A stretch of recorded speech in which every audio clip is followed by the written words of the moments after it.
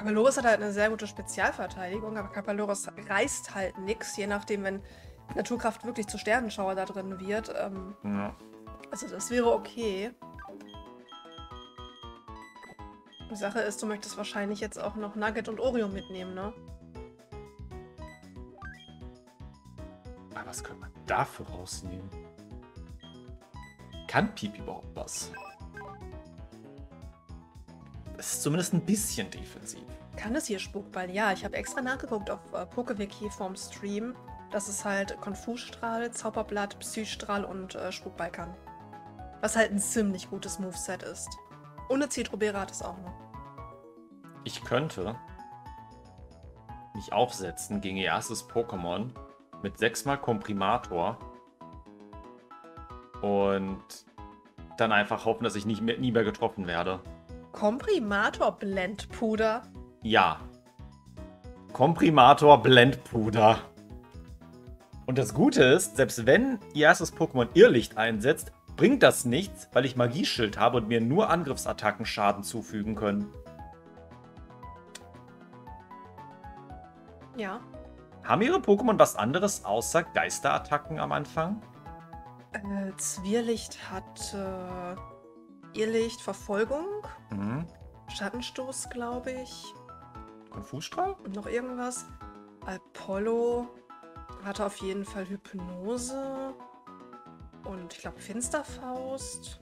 Im Idealfall werde ich aber mit Irrlicht verbrannt und kann nicht von Hypnose dann Ja. getroffen werden. Die Sache ist, ähm, ihr Traumagil hat ein Zauberblatt, ne? Das trifft dich immer. Stimmt. Damn it.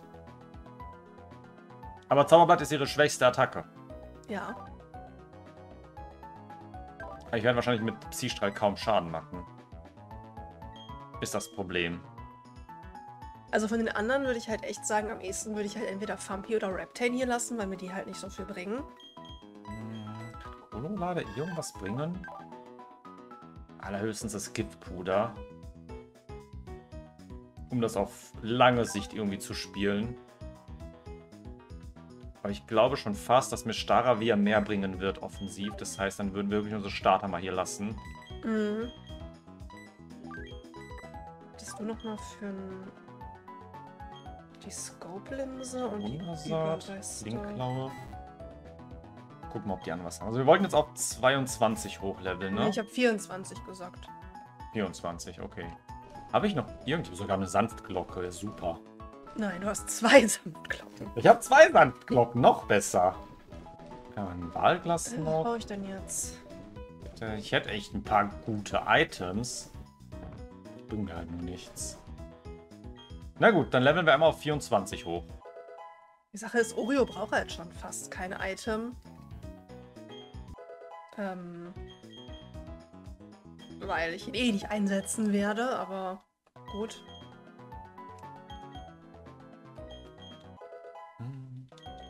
24, ja? Weckruf, ja toll. Eine Kampfattacke. Ja komm, statt Spotlight habe ich nochmal eine gute, starke Attacke potenziell. Wann entwickelt sich Fampi? 28 oder 25, würde ich jetzt sogar schon fast sagen. Ich würde auch 24 nehmen. Geduld. Du überlebst nicht lang genug, um geduldig zu sein. 25. Vielleicht kannst du ja vor der Arena-Leiterin dann auf 25 Mhm. machen. So, Omelette. Wait, Moment. Während ich dich level, drücke ich dir eben noch schnell den äh, Ding jetzt in die Hand. Mhm. Die Sandglocke. Damit er wenigstens ein bisschen mehr Freundschaft kriegt beim Leveln. Lernt Oreo überhaupt noch irgendwas? Das ist eine Steinentwicklung, ne? Kann ich nicht. Mhm. Oh yeah, ich habe Heilung gelernt. Legitime Heilung? Ja. Winter. Oh. Nicht, dass es jetzt ein Unterschied. Wobei, Biss ist eigentlich sogar besser in dem Falle noch. Bitterkuss. Okay. Aber es ist zumindest besser als die Kratzfurie, die ich eh Das auf jeden werde. Fall. Aber ich meine, für die Arena wäre halt äh, Biss besser, weil du zurückschrecken lassen kannst, ne? Ja, gut. Hast du eigentlich einen Expertengurt? Es trägt einen Expertengurt. Ah, okay. Der Überroller lernt es noch. Kann es nicht schon Überroller? Dann nicht mehr. Fuchtler. Mm -mm. Was? Okay, Schoko Fresh. Das ist mir dann noch ein bisschen zu heiß. Voll bringt sie auch nichts in der Arena. Äh, Nein. Aber Mochi müsste sich entwickeln. Auf 24 meine ich. Ist auch richtig gute Pokémon dann echt für die Arena. Werden wir sehen.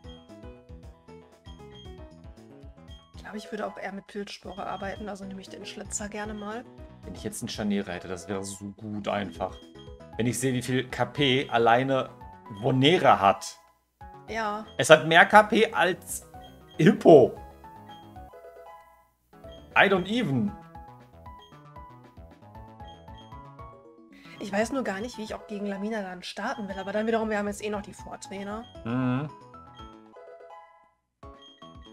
Wo hoffentlich alle durchkommt. Ja. Ihr Licht. Ja, komm, steht im Kreideschrei.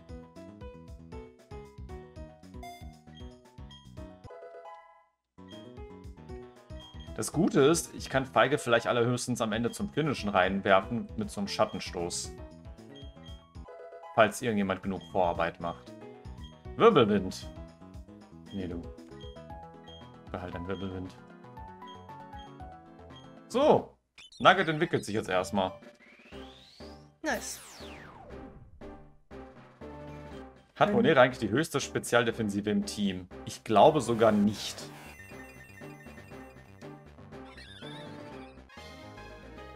Dadadadadadadam.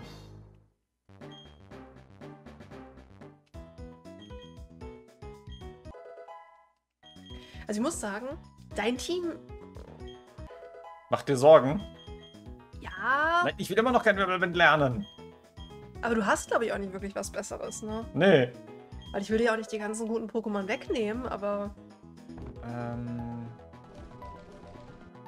Was kann ich denn geben? Seidenschal? Nee, wenn dann Hack Attack. Oder das Muskelband. Gib dir mal das Muskelband.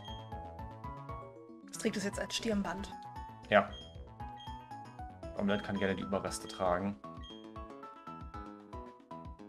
Jetzt lass mich mal kurz mal gucken. Wie ist denn die, die spezielle Defensive meines Teams? 42, 40, 46, 40. Das ist halt wirklich die schönste Spezialverteidigung. Was ist das eben? Ah, ihr bei. Was? Schuppert hat einen höheren Angriff als Nugget? Okay. Hm. Didn't see that coming. Jetzt muss man mal kurz mal durch die TMs gucken, ob da vielleicht noch was Gutes ist für meine Pokémon. Das ist keine schlechte Idee. Ja, hm, hm, ja, okay, ja, hm, ja. Hm. Wie erwartet. Das Beste, was ich habe, ist legitim nochmal Juwelenkraft. Was jeder lernen könnte. Das hat auch echt die meisten KP. Ja, die beste Spezialverteidigung, die meisten KP. Und es kann nichts. Ich könnte einfach irgendwem Abgesang beibringen. Das wäre auch witzig. Für Mochi.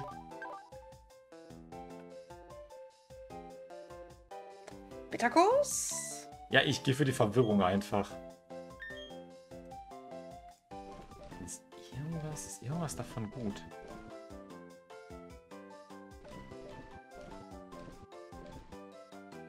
Notsituation dann einfach. Die Sache ist, es ist so viel sinnvoller, Abgesang zu machen, wenn ich auch einfach Biss machen kann. Mit Biss gehen. Kann es denn... Das ist nicht Notsituation, wait. Kann es denn Notsituationen lernen? Nein. Okay.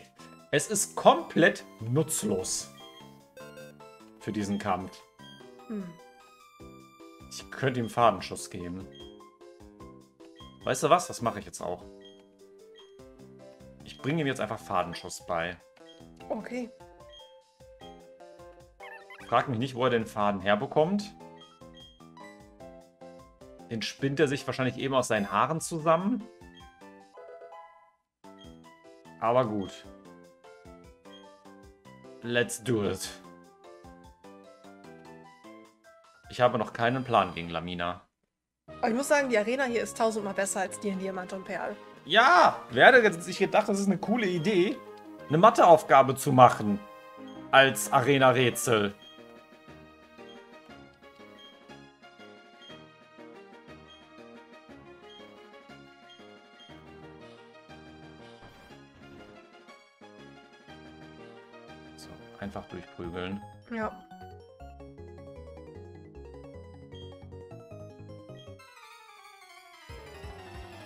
Allen Dingen fand ich das so witzig, wie sie noch am Anfang meinten, ja, du kannst ja zur Not einfach deine Pocket-Taschenrechnerfunktion dafür benutzen, damit du auch wirklich weißt, was 6 plus 4 sind. Ja. Mathe. Nein! Diese Arena wird ein Spaß. Äh, ich habe doch bestimmt auch noch ein paar Beeren, die ich für so. Immerhin kann ich dich one-hitten. So. Wurdest du verwirrt? Nee, ich wollte nur so ein bisschen die KP wieder auffüllen. Hm. Ich glaube, es war ein Dreieck. Aber wir nehmen die Trainer mit, oder? Ja. Hi. Was machst du so? Horta. Kann eigentlich irgendeins der Pokémon in dieser Arena Abgangsbund? Ich hoffe es nicht. Ich auch. Du noch im Turret? Ja, immerhin. Zum Thema übrigens, dass das nicht gereicht hat. Zum Thema Hardgold und Soul Silver. Wir haben auf jeden Fall ja schon eine Wetling zu Gold und Silber gemacht, was wir auch bewusst gemacht haben, weil Hardgold und Soul Silver sind leider super schwer zu emulieren. Mhm. Gerade so im Deutschen. Theoretisch würde ich schon gerne mal Ih, wieder Finalschlag. ähm, Hardgold oder Soul Silver spielen, Mhm. weil ich finde, es sind echt schöne Remakes. Mhm. Aber es ist echt schwer, das so als Projekt zum Laufen zu kriegen. Wir haben das sogar tatsächlich versucht. Ähm, aber ich glaube, spätestens als du den Randomizer eingeschaltet hast, ist es komplett abgestürzt. Ja. Deswegen konnten wir, ich sag mal, nur Gold und Silber machen. Oh, sind sogar Random Bounds, wo die Felder sind. Weil deins ist weiter rechts, das blaue. Mhm. Aber mir war es auch ein Dreieck.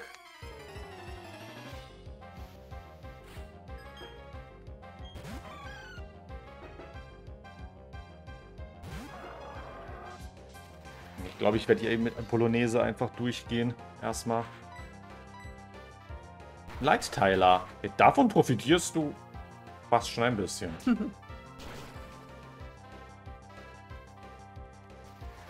Ja, ich finde das auch echt schade, weil ich finde halt wirklich, dass es sehr, sehr gute Remakes sind. Und ich finde auch irgendwie, ich weiß nicht, ich finde Hardgold und Soul Silver sehen richtig schön aus. Die Pokémon laufen dann hinterher.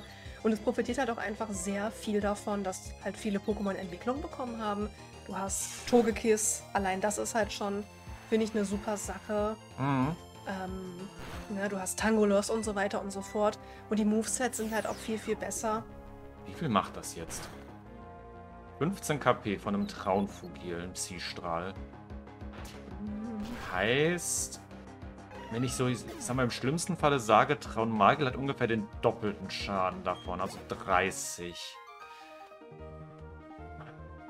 Und Zauberblatt ist knapp doppelt so stark dann ungefähr. Also so um die 60. Heißt, Bolognese sollte, wenn kein Crit kommt, es eigentlich überleben, falls ich es mal ein Zauberblatt reinwerfen muss. Oder allgemein, falls ich es halt da reinwerfen muss, dass es mal was macht.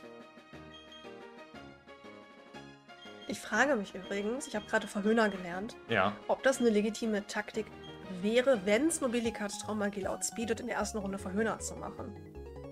Um den Konfusstrahl zu unterbinden. Ja. Wenn es stattdessen angreift und dir Schaden macht. Ja.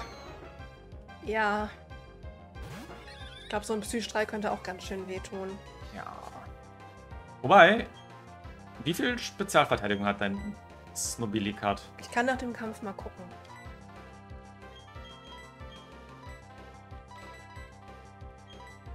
Weil ich hatte mir eben ausgerechnet, bei. Als ob der eine X-Abwehr macht. Was? Nicht, dass es ihm was bringen würde, weil. Okay, hallo Tiefschlag. Also bei 42 Spezialverteidigung kann ich mir vorstellen, dass so ein Psi-Strahl um die 30 KP Schaden macht. Das wäre schon knapp die Hälfte bei mir. Weil ich natürlich nicht annähernd so viele KP habe wie dein Hippo. Ja gut. Aber ist halt die Frage, wie viel Spezialverteidigung du im Vergleich hast.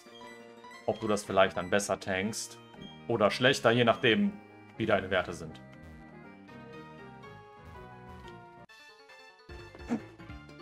Wie viel hattest du nochmal? 42? Ich glaube ja. Also könnte auch plus minus ein Two-Hit sein. Hatte ich dich schon? Nee. Aber wenn er gerade auch nur dank des X-Abwehrs überlebt hat, wandelt ich dich einfach? Ja. Ich bin mir nur noch nicht ganz so sicher, was ich für die anderen beiden Pokémon von ihr machen möchte, weil natürlich könnte ich einfach mit Marzipan starten, Mhm. aber ich habe halt so ein bisschen Angst, dass ich vielleicht doch irgendwas ähm, nicht über, also dass ich ihn vielleicht nicht besiege und dann irgendwie ein Irrlicht oder so abbekomme. Deswegen würde ich eigentlich Das wäre jetzt eigentlich ein sehr guter Test gewesen, um zu gucken, wie hart du äh, Nebulak anhauen kannst. Ein Alpollo. Aber du hast es leider weggekrittet. Aber ich kann es für mich mal versuchen. Jetzt habe ich aber schon 26. Ja, toll. Mit dem Fluch kann ich jetzt nicht gucken, wie viel Schaden ich dir gemacht hätte. Aber ich habe gesehen, dass ich langsamer bin und das ist schlecht. Die Sache ist, ich weiß halt aber auch nicht, was ich sonst ehrlich gesagt machen soll, außer Marzipan. Bei den Vortrainern erstmal mit was anderem noch versuchen. Wie das nicht reicht. Er kann doch nicht mal einen Traumvogel one-hitten. Ich glaube, Traunvogel ist auch ein bisschen defensiver. Ich glaube auch nicht, dass du Nein, natürlich Dinge nicht. Traunmagel two-hitten kannst. Aber ich würde es nicht mal two-hitten. Ja, schwierig. Ist halt, so fehlt die, der Step. ist halt so die Frage, ob es eine Idee wäre, halt in Traumagil Parasec reinzuschicken, einen Hit zu tanken, hoffentlich, und Pilzspore zu machen. Mhm. Dann wiederum, wenn sie Konfusstrahl machen und ich mich selber hitte. Aber was mache ich jetzt gegen die anderen Vortrainer? Sag mal, gegen alles, was Alpollo Nebulak ist, kannst du auch Gardevoir reinschicken und wegkonfusieren. Oreo hält sich ja auch einiges. Also ja auch einen guten. Ja, ja, auch einen guten Bulk. Den kannst du auch vorübergehend reinhauen. Der, der hat, glaube ich, nicht so einen guten speziellen Bulk. Das geht. Na ja. Ist halt so die Frage, ob ich potenziell Schokofresh gegen Zwirlicht oder gegen Apollo reinschicken kann. Mhm. Tatsache ist, Mochi macht gar nichts, Nee. außer Pilzspore. Und du musst bedenken, Pilzspore sichert dir ja allerhöchstens nur einen Safe-Switch. Im blödesten Falle. Weil wenn du reinwechselst, ne? Ja. Die Frage ist, ob so eine Persimbeere auch richtig praktisch wäre, gegen die ganze dumme Verwirrung. Ja. Ich könnte halt theoretisch Parasec eine Persienbeere geben, Mhm. in Traumagil halt ihn halt reinschicken, Pilzspore drücken. Weil ein Hit werde ich ja leben, Ja. denke ich. Äh. Den Leitteiler wieder ein. Dann trauen Magil schlafen legen, dann auf Snobilikat wechseln. Und dann hoffen. Ja, hoffen ist gut. Wie machst du mir jetzt auch wieder so um die 15? Jo.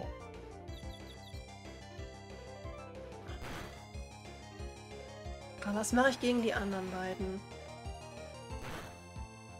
Das denke ich mir auch.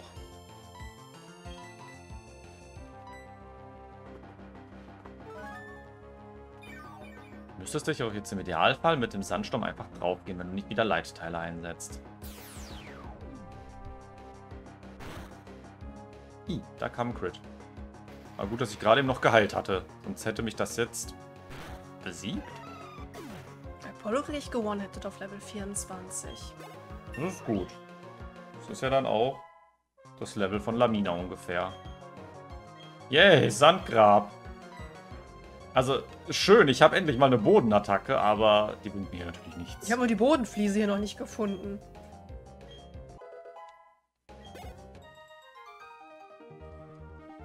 Kann die hier auch irgendwie... Die Zeit war so toll bei Pla, wo es keine Verwirrung gab. Ah, ja, ich, ich fühle dich. Ich finde die auch irgendwie nicht. Hast du deine gefunden? Nee, noch nicht. Ich glaube, ich bin noch dabei, alle Trainer zu besiegen. Äh, könnte Josa einen Wahl, das Wahlglas geben. Dann ist sein Blutstrahl nämlich auf jeden Fall ein bisschen stärker. Ich Wo ist das Ding denn? Nee, jetzt mal ohne Witz. Ich kann es ja nicht sagen, weil die ja auch random sind. Also es ist ja bei mir dann auch ganz woanders dann. So, habe ich jetzt alle besiegt? Ich sehe das auch nicht. Es ist so dunkel. Nee, ich habe dich noch nicht besiegt. Ich kann ja bei dir mal das mal ein bisschen mitschauen.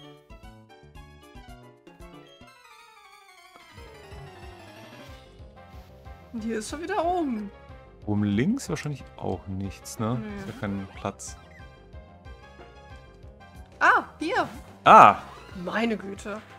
Den habe ich irgendwie nicht gesehen. Oh no! Mach doch nicht diesen. Das ist aber irgendwie auch echt nicht so leicht zu sehen. Ist dann schon Arena-Time? Ja. Aber gehen wir jetzt nochmal raus? Ich würde gleich auf jeden Fall nochmal rausgehen Ja. zum Heilen. Dann muss ich jetzt den ganzen Weg wieder. Nee, zum Glück nicht. Er macht diesen. Wusstet ihr übrigens, dass wenn man einmal Komprimator oder Doppelteam oder sowas einsetzt, der Gegner danach erstmal nicht mehr trifft, falls es ein Mensch ist? Den NPCs ist das ja egal. Schon Moment. zu weit unten. Ich wollte gerade sagen, ich bin irgendwie am Pokémon Center vorbeigelaufen. Du musst einfach nur nach links laufen, oder? Von der Arena. Schon.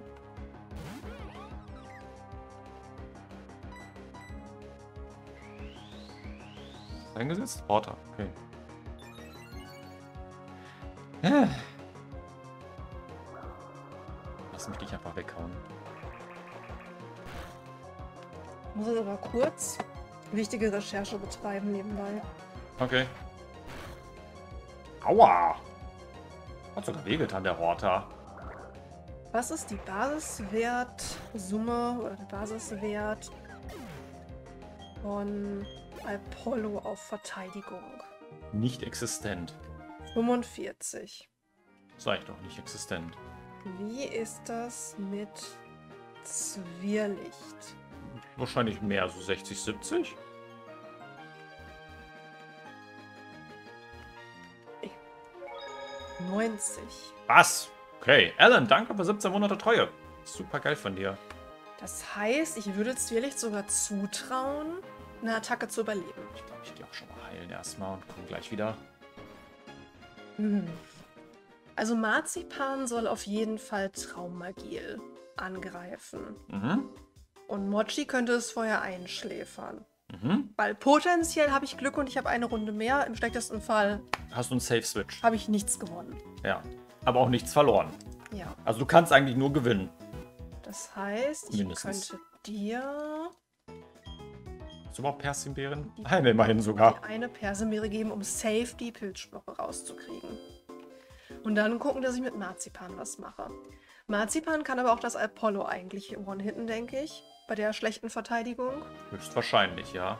Wobei ich jetzt nochmal gucken muss. Und ich finde, da spricht auch nichts gegen, sich bei so einer Challenge vorher zu informieren. Interessanterweise ist der zweite Raum sogar wirklich ein einiges dunkler als der erste. Lamina. Aber das Apollo kann Tiefschlag. Was hattest du vor? Halt mit Marzipan. Aber ich will Marzipan natürlich so fit wie möglich für Traummagil haben. Der Tiefschlag wird aber nicht, also wird schon ein bisschen Schaden machen, aber nicht viel, weil Apollo ja nicht so einen super guten Angriff hat. Ah, da. Stern. Hm. Ich muss gleich auch noch dahin laufen, aber ich bin gerade noch im Überlegen. Ich mach das auch gleich noch. Und. Das Stern? Ja. Das Problem, was ich auch habe, ist, dass das Zwirlicht sehr kann. Das, Aber du musst bedenken, Zwillicht hat nicht unbedingt den allerbesten Angriff. ja, aber wenn ich Zwirlicht jetzt besiege und dann jemand anderen reinschicke, kriegt der halt den Seher ab. Ja, gut. Ja. Bitte mit Akzent vorlesen. Sowieso. Ähm. Was kann das Zwirlicht? Irrlicht, Seher, Verfolgung und Schattenstoß. Okay. Ich könnte mit Feige antanzen als erstes. Wobei, machen wir erstmal deine Gedanken zu Ende, danach gehe ich auf meine Gedanken. Die Sache ist, ich weiß nicht unbedingt. was ich machen möchte. Wenn ich Marzipan und Mochi für Traummagie mir aufbewahren möchte. Schoko Fresh und Oreo? Oreo, weil er einfach gut tankt. Und Schoko Fresh, weil es sehr effektiv was hat. Hatte Schoko Fresh was sehr effektives? Gebiss. Stimmt. Und Schoko und Oreo hat zumindest einen Blubstrahl, glaube ich. Der mit Step Ja. knapp 100 stärker hat. Das ist gar nicht mal so viel schlechter als ein sehr effektiver Biss. Aber würde ich dann einfach mit Schoko Fresh starten und gucken, wie viel er schafft? Und dann potenziell auf Oreo wechseln? Hätte ich jetzt so gesagt, ja. Was kann das Alpollo mal? Tiefschlag, Dunkelklaue, Konfusstrahl und Hypnose. Cool, nichts um seinen guten Spezialangriff zu nutzen. Stattdessen geben wir ihm einfach physische Attacken. Hast du eine Maronbeere? Sogar wirklich, ja. Ich meine, die Verwirrung wäre trotzdem kacki. Ja. Hab ich denn Persimbeeren, ist jetzt die Frage. Für alle Fälle. Eine. Beziehungsweise Und eine Maron.